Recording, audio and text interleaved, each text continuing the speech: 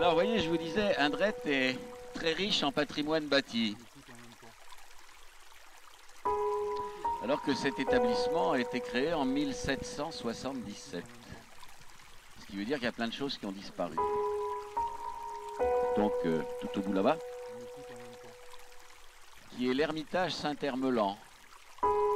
Hermelan, c'est un moine bénédictin, fait un monastère sur l'île de Bassindre. Il a été relevé de ses ruines au 7e siècle. Le château est un ancien château fort qui date de 1005, 11e siècle, qui a changé de main un certain nombre de fois. Il y a un curieux bâtiment euh, dont la charpente est en forme de carène de bateau inversé, bâtiment qui s'appelle le bâtiment de l'horloge. Le bâtiment de l'horloge, ça a été l'orangerie du château. C'est un bâtiment qui est du XVIIe siècle. Qui est la chapelle, euh, qui elle donc euh, était à l'origine, euh, lorsqu'elle a été construite en 1777, l'atelier de forerie de canons pour percer les canons.